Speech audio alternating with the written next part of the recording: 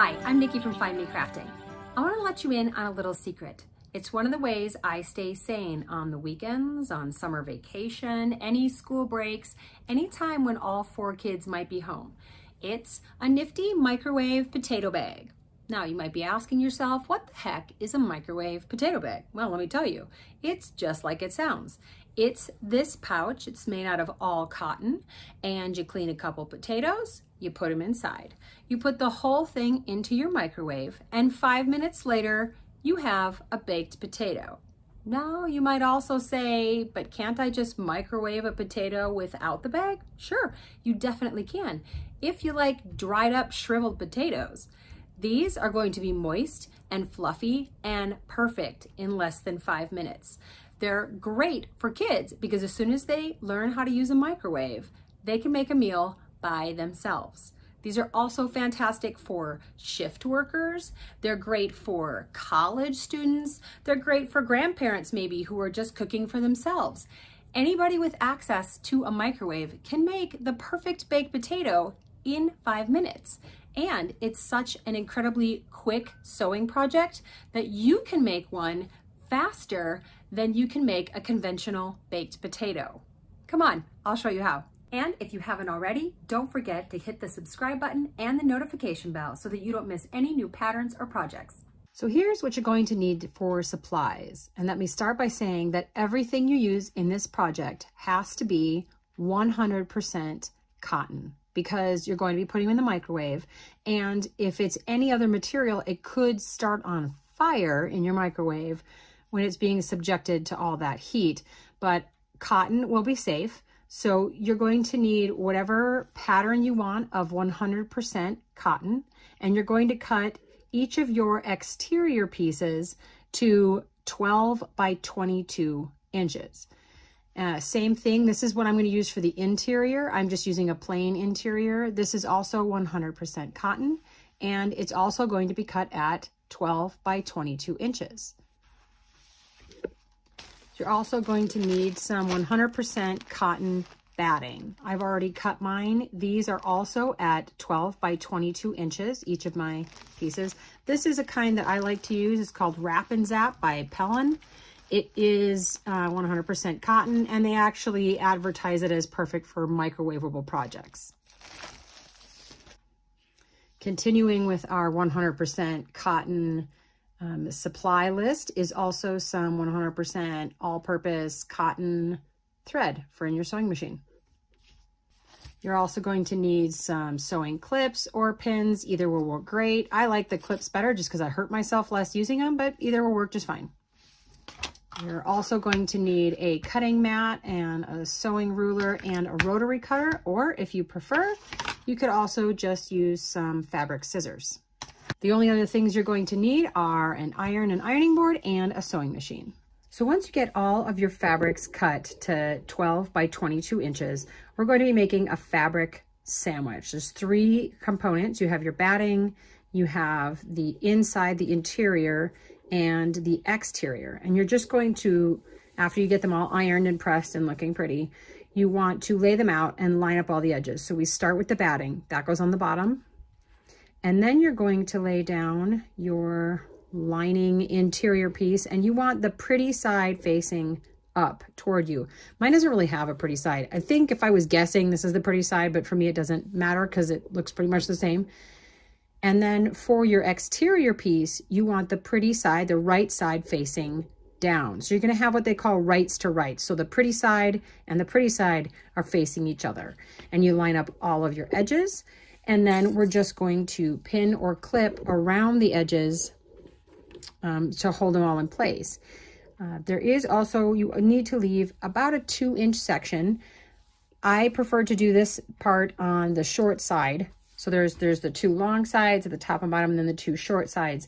I'm going to leave a two inch section over here on one of my short sides open. In this next step, I am not going to be sewing it. And so I'm going to clip these right here. Um, that's more than two inches. That's a sizable chunk. It's fine. Two inches minimum. This is where you're going to flip it right side out. So that part right here, I'm not gonna sew in this next step. And I'm just reminding myself of that with these different colored clips that I've put in here. And I'm gonna just clip all the rest of it around the edges. So once you have the whole thing clipped and ready to go, I'm going to take it to my sewing machine here and I am going to sew around all four of my edges with a 1 4th inch seam allowance. I'm going to start right here just past the clip that I put in where I don't want to sew. And I'm going to go all the way around and I'm going to stop right over here, right above this one that I've marked so that this section stays unsewed. And when you get to a corner, Make sure your needle is down in the sewing project. Just lift up your pressure foot, turn it around so you're facing the direction you want to go next. You probably could have gone a little bit closer to the edge. And then you just put it back down and resume. Make sure at the beginning and at the end here to backstitch so that you don't rip your seams out when you flip this right side out. So at this point, before I flip it right side out, I wanna clip my corners, which just means that I'm going to clip right here. Don't cut across your seam, but right next to it, you wanna do this. That reduces the amount of fabric, the bulk that's inside your bag, and it'll make the corners pop out and look more square. So to flip it right side out, all you do is find the hole that you left unsewn, and you're going to wanna flip it right here so that you have the the exterior and the interior, they're going to flip right here in the middle. You could technically flip it right here and that will be wrong because then your batting will be on the outside. So right here between the exterior and interior, you just start flipping it right side out. And it looks like a mess. And it's okay because it's about to look really cool. So you can stick your hand inside that opening and then just press out your corners make sure everything is right side out. And what helps with this is sometimes like a pencil, a chopstick. Um, I have this pokey little stick thing. I got this stick inside a bag of, you know, polyfill of stuffing. And I use that just to get in here and I push on the corners, make sure all of my layers are poking outward. There we go. See, that one was not poked out and now it is. It's a genius of this thing. But make sure you do that to all of the corners.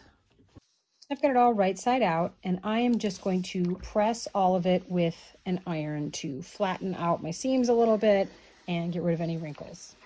Now what I want to do is get this opening that we left to flip it right side out. I want to get this prepared to be sewn shut.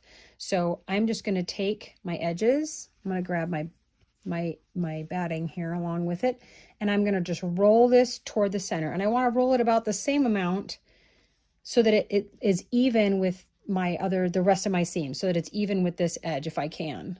So I'm just going to roll it just a tiny bit and I'm going to clip it. And once I get this exterior rolled, I'm going to do the same thing with the inside. So now I just need to roll my interior and I want to make sure the interior is a little bit shorter than the exterior because I don't want to see it from the front. And I'm just going to clip the two together. Now I'm going to top stitch the entire thing, which just means I'm going to do a 1 8 inch seam all the way around. I'm going to start right here. And as I do this, I'm going to sew across this area that I just folded, and that's going to close the opening. And then I'm going to continue on around, and that's going to hold all the layers together. Next, we're going to create the pocket itself. We're going to make the bag portion. So I'm going to lay this out. I have my exterior facing up and I'm going to fold the right side here in about five inches. I'm gonna measure that, make sure I've got about five. It's right about there. And I'm going to clip this in place and I'm gonna make sure the other side is also five inches. I don't want it to be lopsided. Now I'm gonna take the other side, which, you know, if I'm holding it steady, is the left side. And I want to overlap this by about an inch to an inch and a half. So I want this part to go onto this part about an inch, inch and a half. Somewhere in there. And I'm going to clip it. See if my clips can handle that level of fabric here. So I've got them clipped in place. You could add some more clips just to make sure it doesn't shift around on you. I'm just going to now sew just to the left of this seam, my top stitching seam. I'm going to go just inside that and go down both of these sides that I've clipped right here. All that's left to do is to flip it right side out so that your exterior is on the exterior. Once again, I'm going to poke out all the corners and I'm probably going to use To use my little tool here. Oh, not the pointy end. That'll poke right through it, but I'm going to press out my corners.